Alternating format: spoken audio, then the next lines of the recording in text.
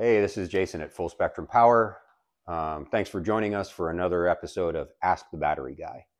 Uh, we, we, get a ton of questions, and nobody seems to read through the FAQs that we put on our website. Nobody likes to read anymore, obviously. So let's do a quick video.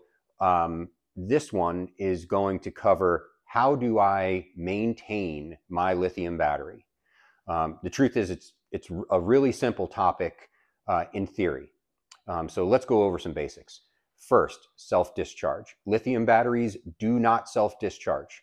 This is very, very different from an AGM or a lead acid battery, which generally loses 1% per day, meaning that if you leave a lead acid battery sitting in your car uh, or on the shelf for that matter for four months, it's completely drained. Lithium doesn't do that. Lithium loses about 1% every 45 days. So that same four months, you know, you're losing a few percent. Um, this is really helpful because this means that if you store your lithium battery in a fully charged state, it can sit for months or even years without having to worry about going out and putting a maintenance charge on it or you know any other kind of weird ritual that you've seen on whatever forum or Facebook group. You can literally just charge it, make sure it's not connected to anything, and leave it sit for up to a year easily without having to worry about it. This is really helpful because what we see, especially in the first, say, two, three months of the year, is people calling and saying, man, this battery worked awesome all last year. And then I put my car back in the trailer and went back up north. And boy, I came back four months later and the battery's at two volts.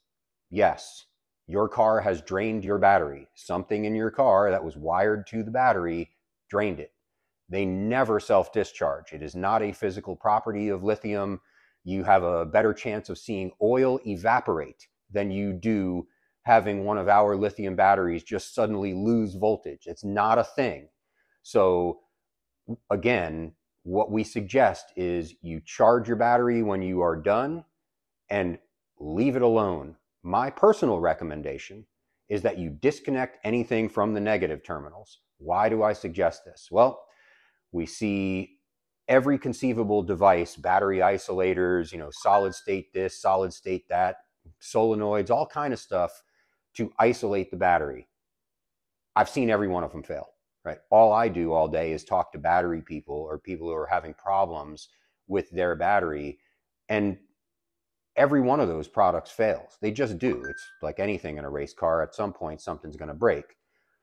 Personally, I just in, in my cars, I just disconnect the negative terminal because I know that that negative terminal is not going to suddenly walk its way back onto the battery, connect itself, and then allow for you know the ECU or some bad sensor to drain the battery when I'm not doing anything with my stuff.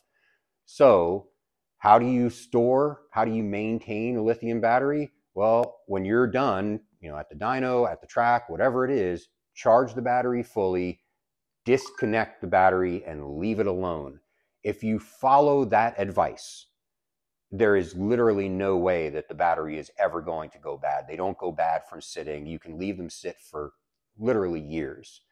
Um, so please take this advice because I don't want to sell you a new battery every year because you don't want to disconnect your battery. I really don't. Please follow this advice. It, it'll it'll save you money.